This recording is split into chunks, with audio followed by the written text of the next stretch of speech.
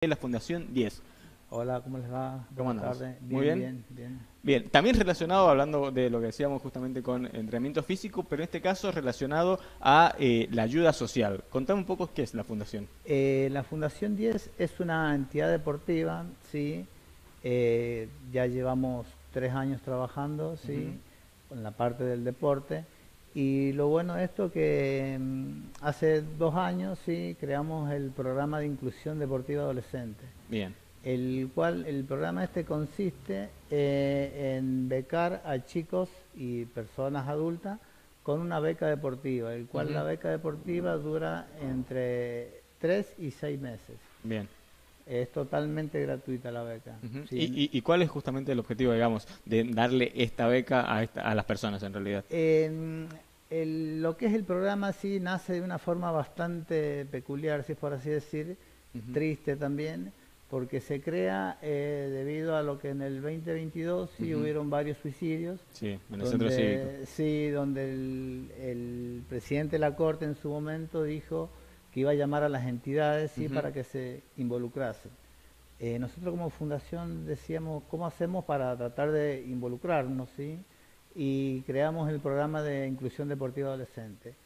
El mismo programa, sí, nos llevamos en su momento a la Dirección de la Niñez y a- Ujú. Adolescencia y bueno, no tuvimos respuesta positiva porque la idea era el programa que trabajase desde ahí. Eh, no tuvimos respuesta, luego empezamos a, lo llevamos al programa del Ministerio de Educación en el año 2023 Sí, y no, no tuvimos respuesta positiva tampoco porque, bueno, la idea era trabajar con el Ministerio de Educación, eh, el programa que estuviese en, en los niveles secundarios, donde hay más flujo de chicos con problemas y, y toda la problemática que tienen los adolescentes en este momento. claro, que, que nos referimos a adicciones, eh, quizás todo eh, esto, lo de suicidios también. Sí, sí, sí. Eh, y bien, en el 2022 tuvimos una charla con la jueza María Camus y el juez eh, Jorge Toro y tuvimos una respuesta muy positiva por parte de ellos y bueno, tuvimos la posibilidad de trabajar con ellos. Eh, este año presentamos nuevamente el programa de inclusión deportiva adolescente en el Ministerio de Educación para tratar de tener una pronta resolución para poder trabajar con los niveles secundarios del- de la provincia. Claro, los objetivos principalmente es en las escuelas, en los chicos, en- donde se Eh, están formando también la personalidad del chico, ¿no? Exacto, sí, sí, sí. Fíjate vos que el chico, el adolescente entre 14, 17 y 18 años está vulnerable a las cosas malas, ¿sí? Sí. Y una persona que practica deporte eh, ve las cosas desde otro punto de vista. Ujú. Y la idea es eh, que el, el- el deporte sí sana, cura y hace muchas cosas que el que no lo hace no lo ve. Bien. Eh, ¿Y, cuánto? Sí, vos, vos lo, has, hecho. ¿te ha Eh, yo lo hago, bueno, soy Ujú. preparador físico y, y el deporte te, te cambia, eh, te- Claro. tenés otra otra mentalidad, otra ganas de encarar las cosas y nada, levantarte a la mañana diferente. Claro, claro, de, de tener también eh, una, una rutina, de, de, de pensar, tengo que ir a entrenar, me va a hacer bien, de cuidarme con, con las comidas, con las bebidas también en algún momento también. sí, sí, sí. Ujú. eh, como te digo nuevamente, el- la persona que hace deporte tiene una panorámica diferente a, la, a la persona que no lo hace. Bien, Y sí, todo va de la mano. Sí. El mismo ejercicio te, te hace que el mismo cuerpo eh, te, te diga hasta dónde llegar con ciertas ah, cosas y bueno. ujú, eh, claro. Y uno si quiere avanzar se tiene que cuidar en este caso. Eh, y, y, y contanos cuántas personas ustedes tien- tienen o han tenido trabajando de estas becas de inclusión deportiva.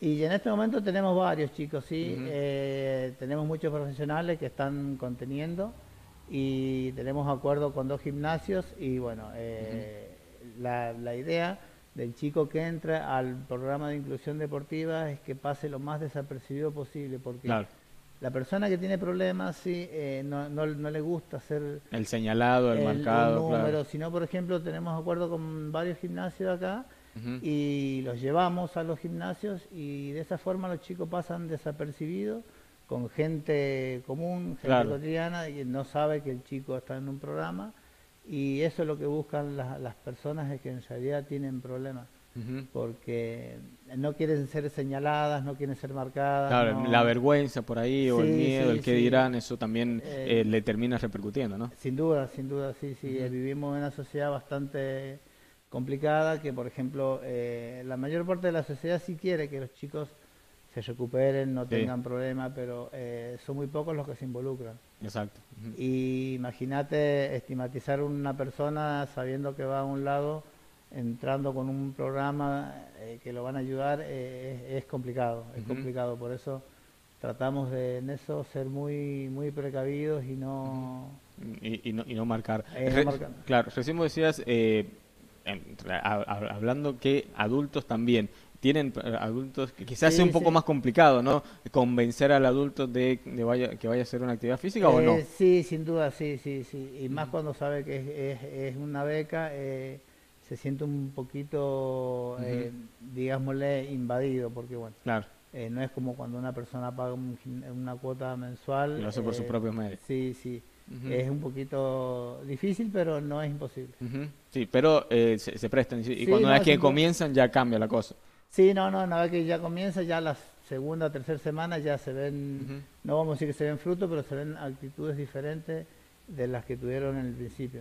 Y una vez que, por ejemplo, estos chicos, una beca de tres o seis meses, termina, eh, ustedes han podido ver que siguen con el entrenamiento físico, no sé si en el mismo gimnasio o en otro lado, eh, ¿han podido tener ese seguimiento? En la mayoría de los casos sí, sí, en la mayoría de los casos sí han tenido muy buena...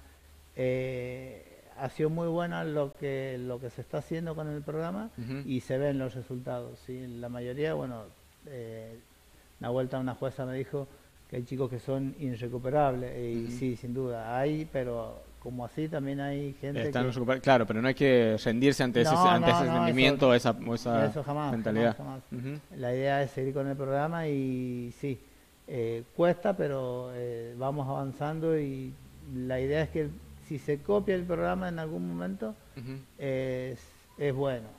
Claro. Pero sin que se lucre con el mismo. Claro, sí, sí, sí. Eh, y, ustedes en este caso lo hacen con gimnasios, eh, pero tienen la idea quizás abierta a quizás algún entrenamiento alguna escuela de fútbol o demás, eh, o solamente con gimnasio que ustedes es donde ven mejor rendimiento. Y el programa en, en, un principio eh, fue de inclusión deportiva eh, abocado y dirigido a los estudiantes. Después se abrió el, el abanico sí y se, eh, se, da a conocer de lo que es de boca en boca.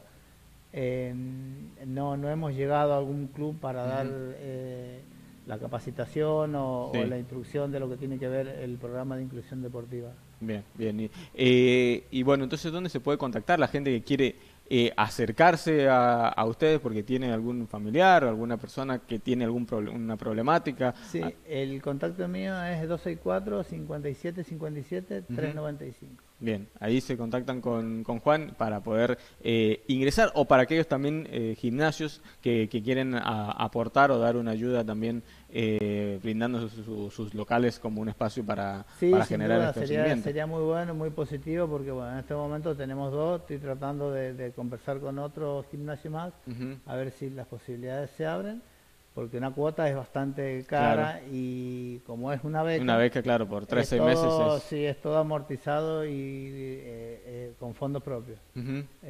lamentablemente no tenemos ayuda, no tenemos contención de la beca va por parte, por parte de ustedes, de la fundación.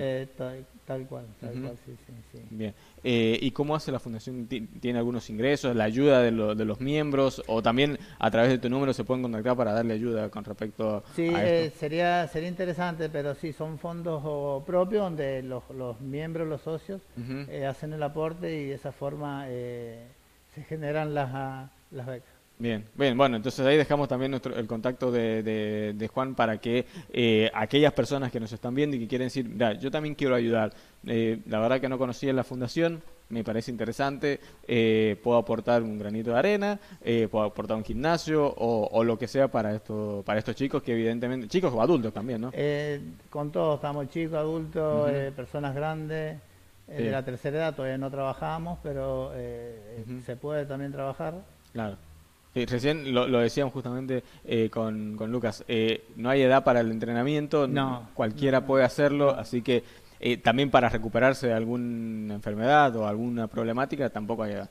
Sí, cualquier edad es, es, buena para empezar el deporte. No, no hay, no hay límite ni, ni tiempo. Como Exacto. Y, y de la persona puede elegir ir cambiando, depende de la actividad física, quizás no sea algo más con más eh, levantamiento de pesas o algo más Sí, por ejemplo, lo que es el, lo que es el programa, los primeros tres meses es de adaptación. Después de ahí se le genera una rutina, el cual el mismo beneficiado eh, se orienta por alguna disciplina deportiva por ejemplo, hockey, handball, fútbol, y se le instruye más en la, en la disciplina que elija, porque se está viendo el abanico a, donde la persona puede elegir y no uno le impone qué es lo que Claro, porque esa, libertad también le permite al chico o a la persona introducirse más en el deporte. Sin duda, sin duda, sí, sí. Bien, perfecto, muy bien. Eh, Juan, muchas gracias entonces eh, por venir, por darnos a, dar a conocer esta fundación. Repetimos ahí el número, lo tenemos ahí, 12